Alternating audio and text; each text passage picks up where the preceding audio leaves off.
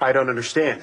If Mrs. Manning was unavailable or needed to reschedule, I'm sure. Well, you see, uh, Mrs. Manning was uh, called out of town for a family emergency quite suddenly. And of course, that was just before uh, we got the wonderful news that Child Services was ready to approve her as Langston's foster mother. However, I uh, do have all of the paperwork uh, right here. Yes, indeed. It's uh, signed and notarized. And of course, I am available to answer any uh, initial questions or concerns that you may have. That's all well and good, but without the interview, I'm afraid. Well, couldn't you make this one exception and uh, schedule the interview at a later date? Well, if Mrs. Manning isn't available, I'd like to speak with her husband. Uh, Mr. Manning would love to speak to you. Excellent. However, Mr. Manning had to go out of town with Mrs. Manning to handle this uh, family emergency, but I'm sure the second uh, that it is resolved, uh, I can assure Does you. the husband concur with Mrs. Manning's decision to foster Langston? Concur, he's all for it. I can't seem to find his affidavit to that effect. Th- that's because there isn't one. No husband and no affidavit. Well, here's the story. Mr. Manning has been out of town for a while. So there's no way to verify that he's even aware of the situation with Langston. Well, If that is the case, then there is no way that I can approve Mrs. Manning's application.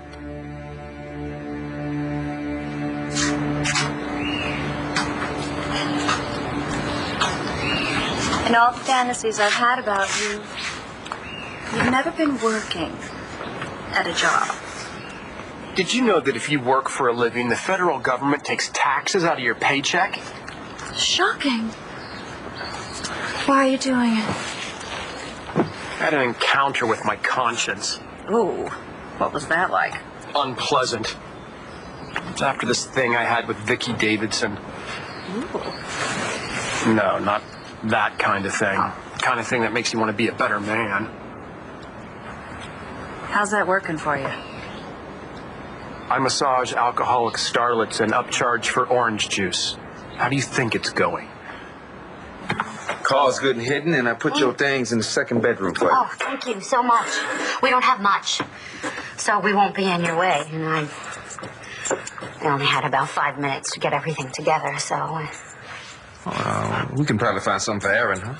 No, no, no. Oh, please don't. Please, you, you've already done so much for us. We're resourceful. Just let us see what we can do. You gonna grow up soon. Cause your mama all kinds of trouble, isn't that right? Believe me, he's already started it. I will I'll put him down for two seconds. He'll turn around, you know, blink, and he'll be hiding somewhere in the apartment. he won't even know where he is. Smart boy. And very fast. Gotta enjoy it, honey. They're a gift, nothing less. He's my life. Why don't you put him down in a room and let him get some rest, and I'll go make us all some food. Well, I, I'd be glad to help. Go on, scoot, and do what I told you. Okay, okay, but I am making breakfast. I'm making breakfast tomorrow morning. John, do you know where they are? Was that your FBI contact? Ramsey suspects Warren of leaking information to us. What does Raymond have proof? He knows we're up to something. I can't let Warren jeopardize his job over this. Oh, no. No, don't let Warren jeopardize his job. It's just my son's life at stake here. And what's that compared to a man's pension? Hey, come on. What's it mean for us, John? It Means after this one last favor, Warren's out. What favor? I asked Warren to run background checks on all the employees at the at Faces in Decatur. Turns out one of them has family in New Orleans. And that means. I overheard the club owner talking to someone on the phone back in the jail. And he told that person that by the time the agents got back and tossed the club, DeMarcy would be in the Big Easy. You had a lead and didn't tell me?